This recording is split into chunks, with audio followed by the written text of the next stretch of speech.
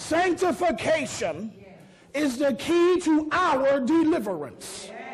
And he brought me to Second Corinthians, the fourth chapter. And I, I'm going to be obedient to the Holy Ghost this morning and really try to get into the understanding of sanctification.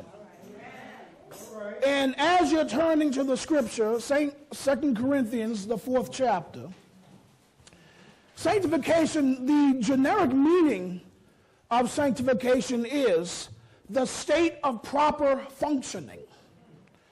To sanctify someone or something is to set that person or thing apart for the use intended by the designer. A pen is sanctified when used to write. Eyeglasses are sanctified when used to improve sight. In the theological sense, things are sanctified when they are used for the purpose God intends. A human being is sanctified, therefore, when he or she lives according to God's design and purpose. The Greek word translated sanctification means holiness. To sanctify, therefore, means to make holy. In one sense, only God is holy. God is separate, distinct. No human being or thing shares the holiness of God's essential nature. There is one God. Yet Scripture speaks about holy things. Moreover, God calls human beings to be holy as He is holy. Another word for a holy person is a saint. And I began to look at this, and I know God's been dealing with me on salvation, on baptism of the Holy Ghost. And I wondered why he waited for sanctification. I kind of knew it was coming because you can't have one without the other. You can't just be saved and not be sanctified. And you can't be sanctified without the baptism of the Holy Ghost. These are the three works of grace. But sanctification is unique. Sanctification is set apart in a way that it's a definite work or progress in our spiritual walk, but it's also continual. Mm-hmm. It's also progressive. So Paul began to look at this in Second Corinthians chapter 4, verse 1, he says, Therefore, seeing we have this ministry, as we have received mercy, we faint not, but have renounced the hidden things of dishonesty, not walking in craftiness, nor, uh oh, handling the word of God deceitfully. People are touching God's word deceitfully. Using innuendos. Trying to twist one verse to give you a prosperity gospel. They're trying to use the scriptures to justify homosexuality. In sanctification, I have to clean up my sex life.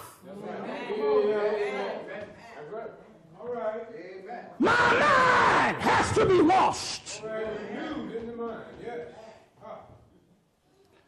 Sanctification helps me clean up my marriage.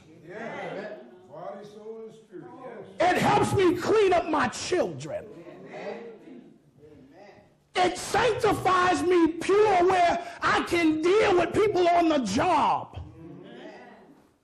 Deal with people in the community. I can get a better understanding how the church should work. How the order should be placed. This is why there's confusion in the world. Because from church to church, there's different things being taught. God is not the author of confusion. This tells me if there's confusion in these churches, that means the devil's been there for a long time. And if you don't think the devil will come up in the church, you're sorrowfully mistaken. Even while Jesus was preaching the gospel, the devil came right up and sat in the pew.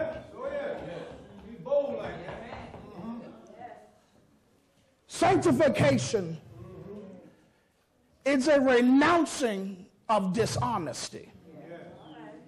Because the first person you are dishonest with is yourself. The Bible says, let no man think of himself more highly than he ought. And there are people with Pentecostal egos. We're going to get to that. And we're talking about sanctification. And we have to understand we have to be sanctified from ourselves. Our biggest stumbling block is our own mindset, our own heart set. We'll get to that. Peter tells us, he says, that we need to add to our faith virtue, and to virtue, knowledge, and to knowledge, temperance, and to temperance, patience, and to patience, godliness, and to godliness, brotherly kindness, and to brotherly kindness, love. You see the progression?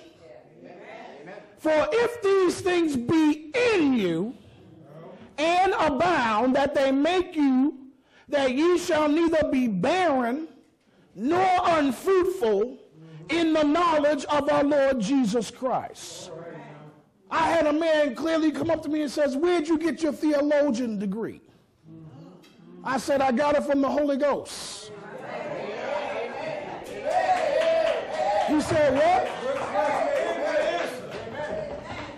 He said, What are you talking about? You sound well learned. I said, All I can tell you is that the Spirit of God teaches all men. And if you're willing to study, if you're willing to get inside the scriptures, if you're willing to sit down with the old prophets and listen to their dark sayings, the Holy Ghost will show you Jesus Christ. The Spirit of God teaches all men. And if the Spirit of God is teaching people, that means they all need to be saying the same thing.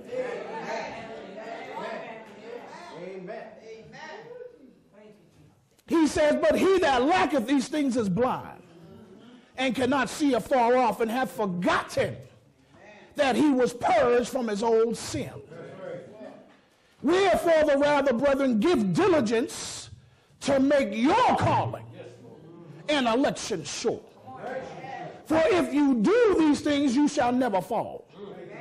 People are falling because they're trying to appease people. And I shared this not too long ago. God's dealing heavy in my spirit for some reason that he says you need to be a Micaiah. That's true. Tell the truth. Tell the truth. You need to be a Micaiah. You need to tell the truth to whomever, wherever, about whatever. Amen. I said, Micaiah, wait a wait, wait a second, God. Wait. Mm-hmm. Let me go study. When we first met Micaiah, he was in a dungeon. He was thrown in there because they hated him. You know, God. The truth. You know, one of the greatest hatreds on the planet is of God's anointing. People hate you because of the anointing in your life.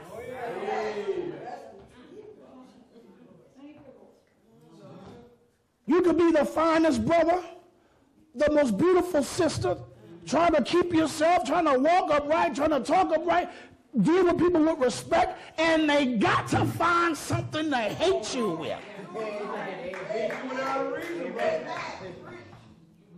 They watched Daniel for days, weeks, and months, and they couldn't find a fault.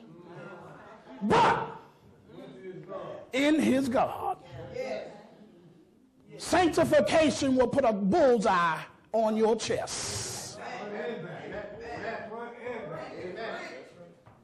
Verse 3 says, But if our gospel be hid.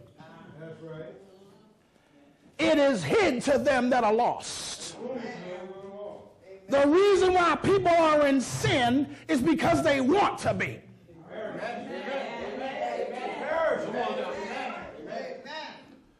The reason why our family is in sin is because they want to be. Have mercy. Ah, Everybody loves God. That's great. That's wonderful. But when I mention Jesus, well. Oh, yeah. uh, Separates. I'm sorry, we can't talk about religion on the job. And you know, my God, I try to do right by my mama. I said, let me tell you something. No man will tell me not to talk about my Savior. Ah,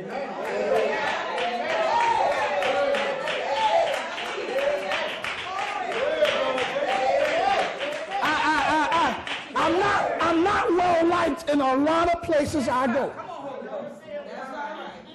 I, I, I, got a, I got a smart mouth. Oh God. I, I, I, got a tongue. I got a, I got a tongue. See. I got a tongue.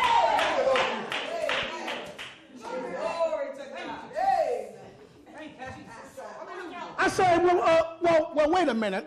If you don't like religion, then what are all these people dressed up for Halloween for?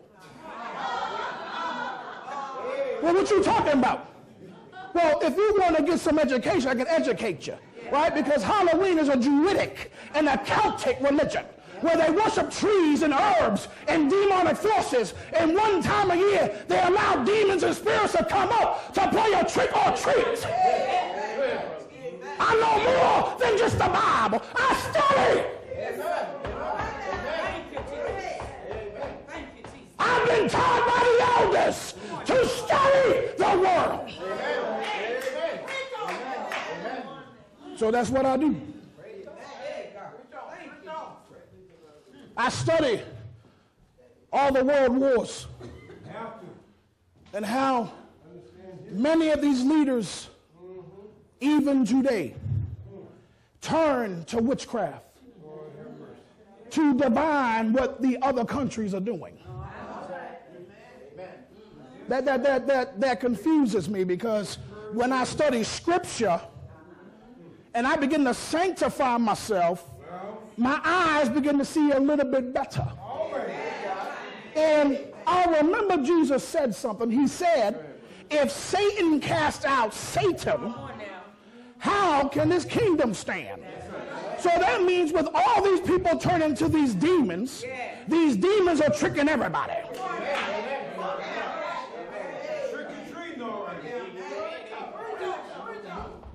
Don't you be fooled by the color of the skin of your next president or your next governor or your next mayoral candidate.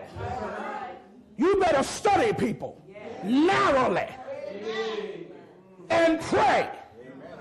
God, show me people as they are. Yes, sir. Because we love to, you know, quote people's names, and some people are good at name attention, some people ain't. I'm more interested in understanding what you are. What are you? Yes. They stand for yes. People study me, so I can study you.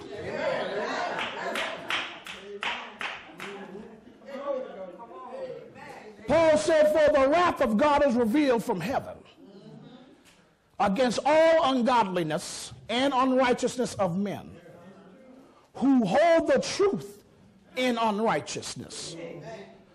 Because that which may be known of God is manifest to them. For God has showed it unto them for the invisible things. Did you hear what he said? The invisible things of him from the creation of the world, right, are clearly seen. Right? We understand that Jesus is the God of not only the visible, but the invisible. And over time, he's given men knowledge to peek into the invisible. This is why now you have infrared technology. This is why you have night vision technology. This is why you have heat coming to the building because you can't see it, but you know you can feel it. This is why there's many volts running through this wall, but if I touch the wall, don't kill me because God gave men knowledge of insulation. You have to understand, we weren't even intelligent enough to close ourselves right.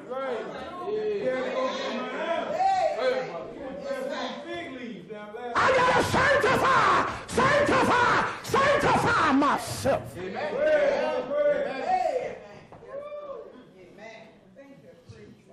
The invisible things that are made, even his eternal power of God, of his Godhead, so that they are what? Without excuse. There is no excuse for not accepting Jesus Christ as your Lord and personal Savior. And you know, some people don't have a problem with Savior because people want to be saved all the time. Right? Right? The service industry is replete with people saving people out of hurricanes and floods and flat tires. They get good money. AAA makes some good money.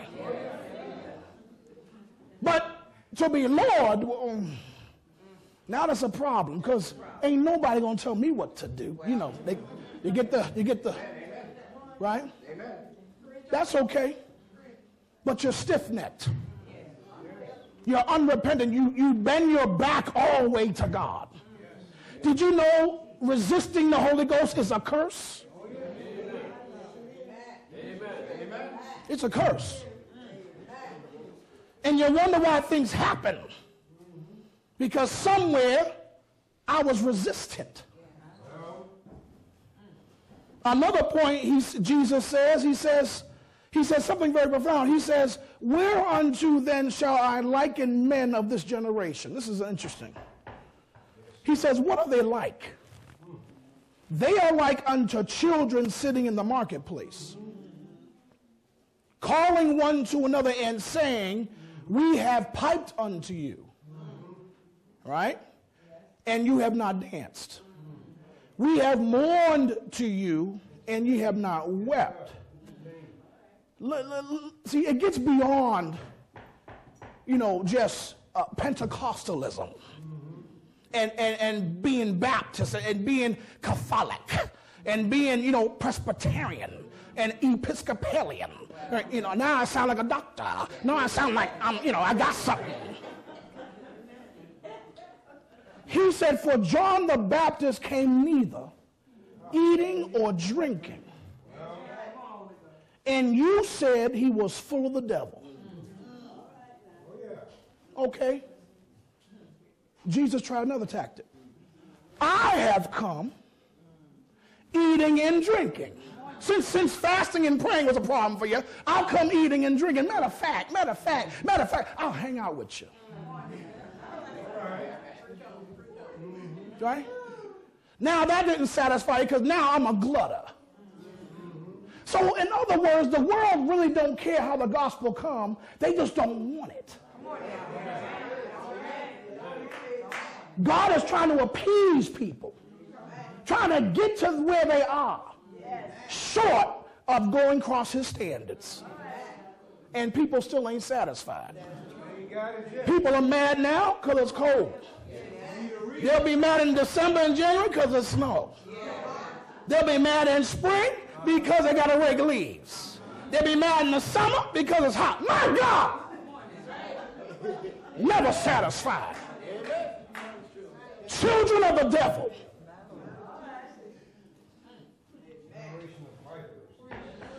Verse 4 says, In whom the God of this world, you know who the God of this world is? Satan.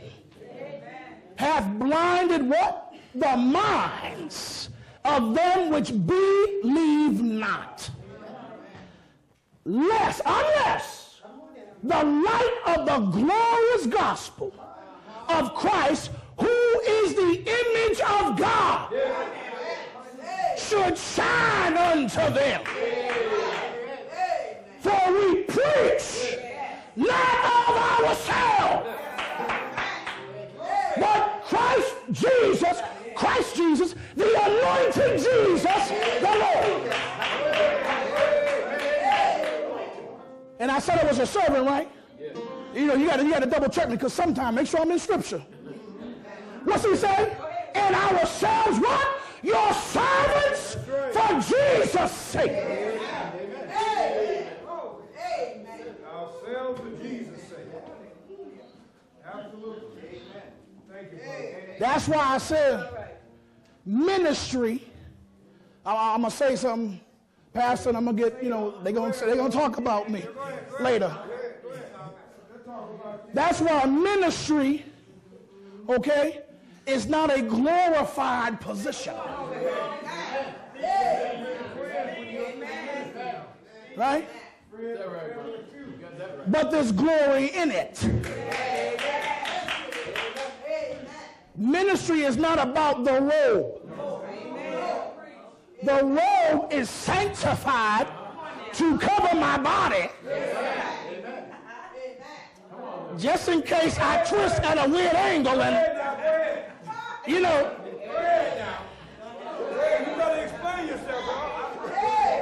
There, there's a reason why the dancers wear their long gowns, because if the sister, you know, just. Uh, uh, this is why I got to button up, because if, if, if the sister kind of like a. Oh.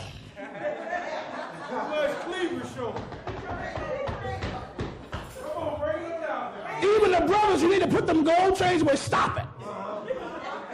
Up there doing like 10, 20 push-ups. Yeah, yeah, yeah, I'm swole now. Oh, yeah. In the church, we have to sanctify. Sanctify. We, we, I gotta, I gotta rethink. I, I, I gotta readjust. I gotta reset. I gotta rehome. In the manufacturing industry, when a machine loses its way, it, go, it goes places you don't expect it to go. And the engineer has to come in and rehome, rehome the machine. It's called the machine zero. We are like that daily. I have to rehome with the Spirit of God. I, I got to reset. Yes, yes. Because throughout the day, you're picking up things. Did you know you can pick something up by someone handing you a piece of paper? And you think nothing of it, go to sleep. And all of a sudden, you're literally, God is showing you something about the document. He'll show you what the document's really all about. Why it was written, who wrote it, what was the intent. What's the purpose? Did you know God will allow you to see an email no one intends you to see?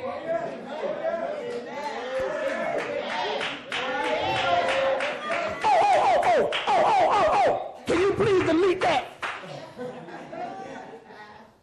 Let me tell y'all, for those who are in the corporate world, save all of your emails. Did you hear what I just said? It's got to get quiet. Save all of your emails. I don't care if you're a lawyer, a doctor, an engineer, a mechanic, a seamstress. Save all of the evidence off of the computer. Because people will hunt you down. And, and you know, they'll, they'll conveniently, you know, think that you were the one behind. Whoa, whoa, whoa, whoa, Hold on, hold on, hold on, hold on. Oh, no, no, no. You mean this one? Oh, oh. You're on the lookout. Do not be deceived of the devil's devices. He is cunning. When you're sanctified, when you allow your mindset to focus on Christ, you, you won't understand why you're in prayer. Lord, why am I thinking about my computer on the job? Pay attention. Lord, why am I thinking about lifting weights? I'm trying to keep my mind on you. Pay attention. Because there are times, did you know there are times God will tell you, will you please stop praying? Will you please stop praying and do something? I already answered your prayer. Now get up and do it.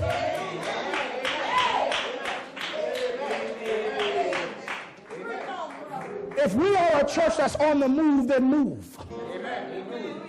If you are a church on the move, then move. If you're struggling with the outreach ministry, go out. Because man didn't call you, God did.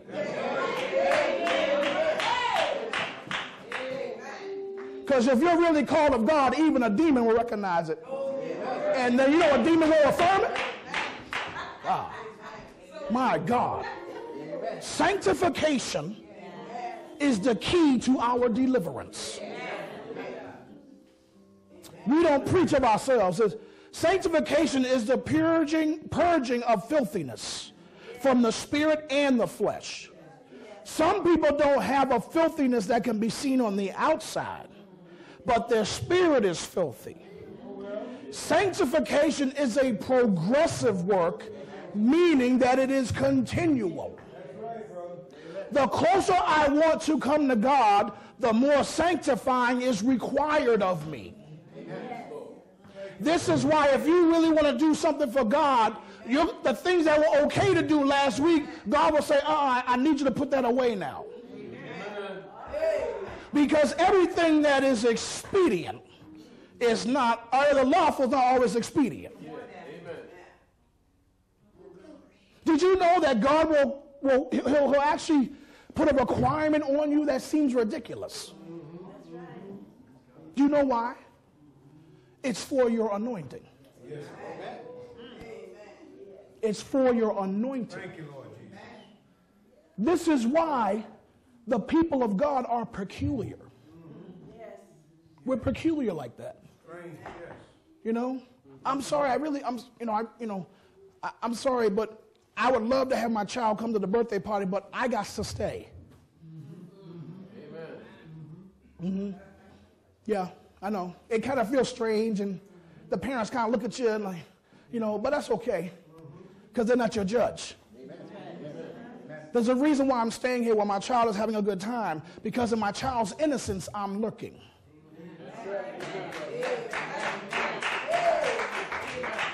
I know y'all saw the Terminator. Terminator, when the Terminator was on the target, he would he would scan, right? We need to do more scanning. You need to, you need to scan your, your children's teachers. Because I'm looking to see if that brother's a little bit, a little bit too effeminate. And I'm looking to see if that sister's a little bit too bullish.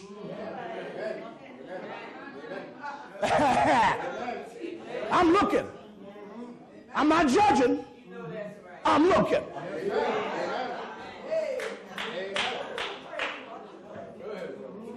When I go to the hospitals and rehab centers and they tell me people are stealing from them, I listen.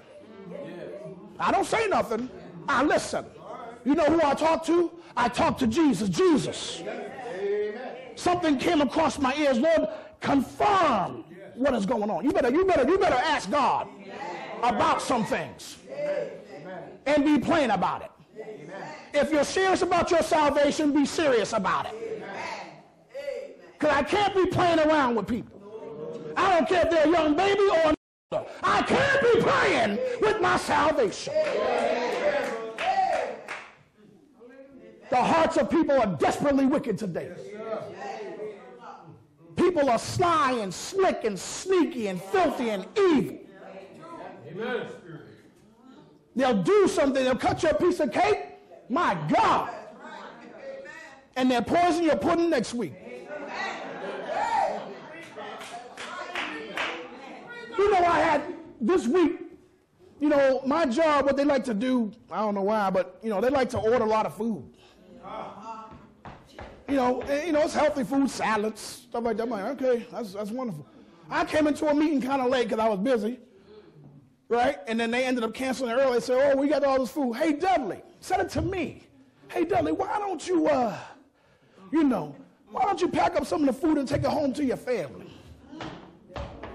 I said, oh, uh-huh. That's a nice offer, and that's nice. Thinking about my family. I'm looking at the man, he's kind of fidgety. See, see, see, sanctification makes people uncomfortable.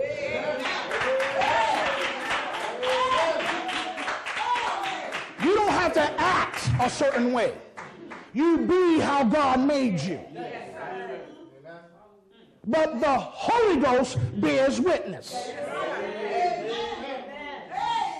quite right. You know, you know where I get that from? Because when they came to search for Jesus many times, they couldn't tell him from everybody else. You know, we, we, we want to be, you know, we want to be gospel fabulous now. We got to have bling. Everybody's got to see me. When Jesus didn't do that, the Bible says he made of himself no reputation. We want everybody to know me.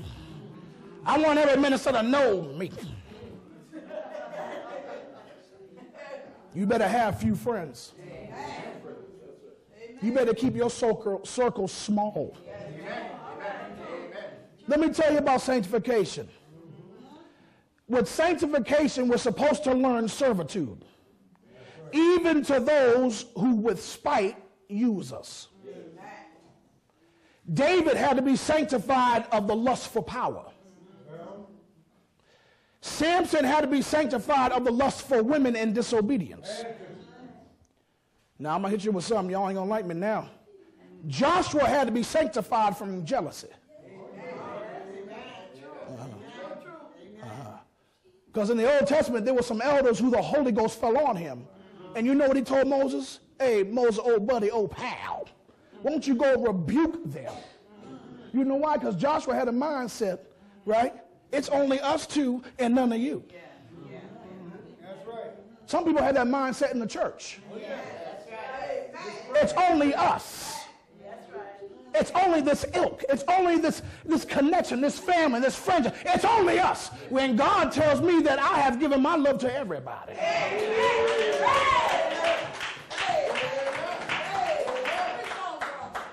If it wasn't an issue, it wouldn't be in the scriptures. Did you know Sarah had to be sanctified from lying in her spirit? Paul and Barnabas, that's right, had to be sanctified from discord. Did you know they had an argument so bad it threatened the ministry? Did you know people are fighting in the church so bad it threatens the ministry? And people wonder why the church ain't growing because people got discord everywhere. And God has already been telling you in dreams and visions, get it, get it, get it right. Did you know Onesimus had to be sanctified from stealing? And then Philemon had to be sanctified from grudging? That's right. The elders of the gospel had to be sanctified. Building up churches Casting out demons, sanctify yourself. Singing in the choir, preaching the pulpit, sanctify yourself.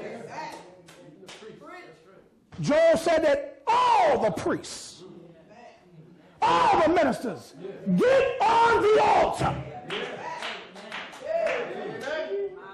and cry for the people.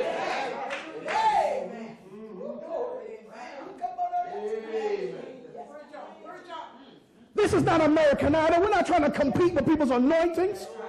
What kind of foolishness is in the churches? I can't be used like nobody else. That means I'm counterfeit. I can only be used how God put it in me to be used. And God knows which ones of his vessels, oh, yeah, I need you today.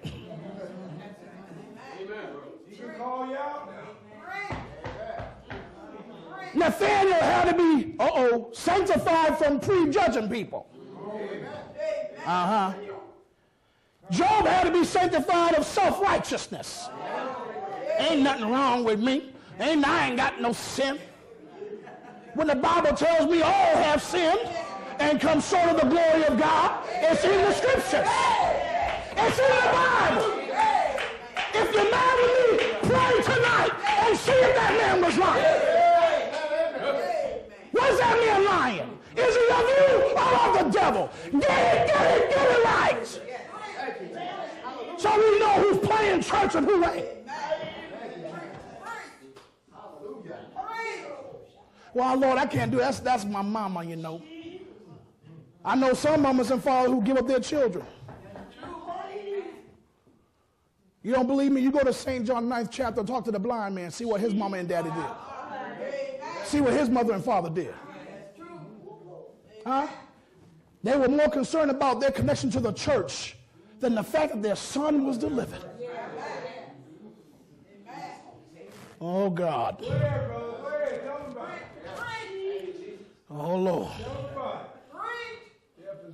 Did you know even though he had no sin, Jesus even sanctified himself? As an example. Verse 6 says, For God who commended the light to shine out of darkness has shined in our hearts to give the light of the knowledge of the glory of God in the face of Jesus Christ. But we have this treasure in earthen vessels that the excellency of the power may be of God and not of us. You don't worship people. You gotta stop worshiping people. I am the Lord thy God, and beside me is no other. You better stop worshiping people. Cursed is the man who trusts in the arm of flesh. You can love people, I'm telling you. You can respect people. As a matter of fact, the Bible says respect. Even told Timothy, respect the elders. Right? But he also, on the flip side, told Timothy how to deal with them too. You read 1st and 2nd Timothy, you see exactly what I'm talking about. You read Titus. You know Titus was a fighter? Because he was different from Timothy. Titus was a little bit older in age. You know, I know as people get older in age, they get a little bit more indignant.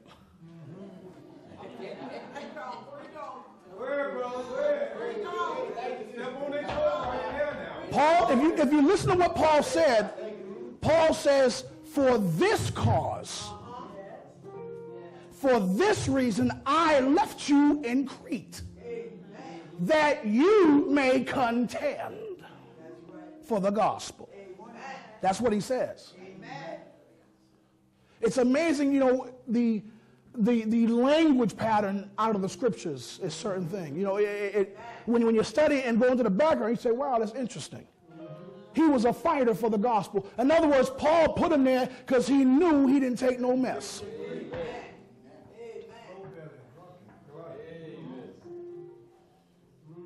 Some would rather reduce the word of God to some words collected together by men over centuries to be used as philosophical viewpoints. That's what they want to reduce the Word of God to. I know exactly what I'm talking about. But Scripture tells me that the Word of God is quick and powerful and sharper than any two edged sword, piercing even to the dividing asunder of soul and spirit and of the joints and marrow, and it is a discerner of the thoughts, right? And intents of the heart. Let's get one thing straight. All scripture, we're talking about the word of God, is given by inspiration of God. No man or woman came up with it. It is profitable for doctrine, for teaching, for reproof, correction, for correction, for the instruction in righteousness, that the man of God may be perfect, thoroughly furnished unto all good works. Sanctification will cause you to seek God and to search out the matter. You'll need sanctification when God doesn't give you an answer that goes your way. Not every question is yay, yay. Sometimes it's no. Because some people, you know, some people pray against people. Lord, why don't you move them out the way? No. Lord, why don't you cast them down? No. You don't trust me? Go talk to Balaam. Have a conversation with him. Have a conversation. Have a little sit down. Have a little chit chat. See, the reason why the Spirit of God has it nice and quiet in here, because we have to teach this thing. Because some people took the course, but they didn't graduate. They dropped out. They got partial credit. You don't hear too many people speaking of sound doctrine where we're going back to the altar and we are tarrying for the Holy Ghost. Where people are coming forth of themselves saying, I have received Christ as my Lord and personal Savior. Did you know, and I saw it, I observed. Not only was I looking at them cockroaches, I was observing. Right?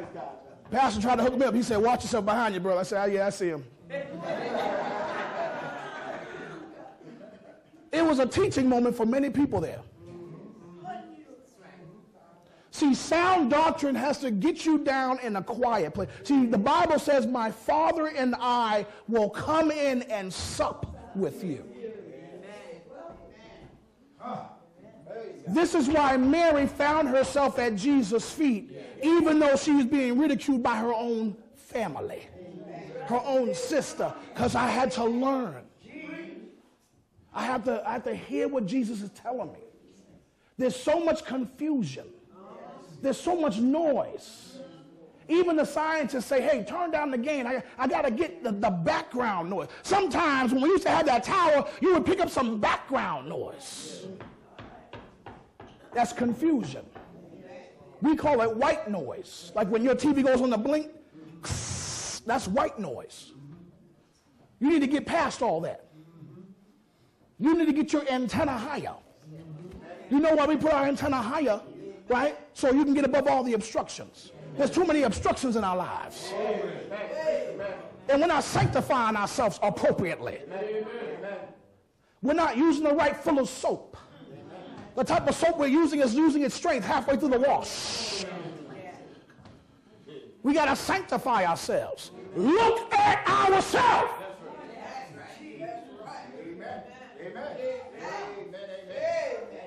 Sometimes God will not give you the answer you want. Paul recounted how three times he prayed to God. This man was doing wonderful things. We don't doubt that praying. This thing bothered him. Whatever this issue was, it was an issue, a thorn in his flesh. He prayed to God, Jesus, Jesus, Jesus, Jesus. God says, My grace is sufficient. A lot of us get attitudes. Because I know God's got to deliver me. Did you know why he had that? He had to confess. Did you know? When you read script, my God, when you read the scriptures, as powerful as this man was, as anointed as he was, he had to confess his fault to the church. We got away from that. we got away from that. Confessing yourself. He says the reason why this came to me because, you know, I have a tendency to brag. You don't believe me? You read it. He would brag because some people, when they're anointed, they think it's of themselves. It goes to their head. If any man desires the office of a bishop, let him not be a novice. That he may fall in the snare of the devil. My grace is sufficient for thee. So he says, uh, one thing you need to learn about sanctification is that it's a necessary purifier for the saints of God. Sanctification helps to keep our heart with all diligence, for out of it are the issues of life. Jesus says, For out of our heart proceeds evil thoughts, murders, adulteries, fornications, thefts, false witness, blasphemies. Sanctification helps you temper these things through prayer and fasting and consecration so that when God shows you people's true character and how they talk about you in the back of the church and how they pray against you in the bathroom, you don't allow Satan to get inside your mindset. You let the Holy Ghost take the anger away so that it doesn't turn you into hatred and grudging. But remember that God revealed these things for a reason. This is so that your discernment can be built up to where God can use you completely and entirely. Nehemiah would have been killed dead if he didn't perceive that Shemaiah had been paid off by his enemies to prophesy against him. Amen. And that God didn't send this man you know this man says, hey, brother, uh, how about you and I go down to the church, to the temple, and we can talk about this thing. He says, I perceive no, no, no. that you are not of God. See, we got too politically correct in the church. We don't like to offend people no more. Uh-huh. I know, I know, I know. It's gonna, yeah, y'all don't want me back for a long, long time. Jesus says, I have come to bring a sword. And you know exactly how y'all feel when people play with your money? Huh? Yeah? Yeah? What about your food? We'll see a little bit later how people. We'll see. We'll see. We'll see. We'll see. In ministry now, verse 8, we are troubled on every side yet we're not distressed. We are perplexed. There are times, God, I don't, I don't, I don't understand. But we're not in despair. We're persecuted, but we're not forsaken. No matter how much people persecute you and run your name through the mud and do wicked things against you, God is right there by your side. He said, I'll neither leave you nor forsake you. All I need you to do is sanctify yourself. Sanctify yourself. Because while you're being sanctified, right, the devil's in your ear. Now, what you doing down there? What you, what, what you think? You think you better than everybody else? What's going on? You know how she cut her eyes at you. You know what he was saying about you. Matter of fact, I think he's looking at your wife right now. And you sitting here. You don't think that happens? You don't think that happens? It's a spiritual battle on the altar. That's why we need prayer warriors on the altar. How do I know that's true?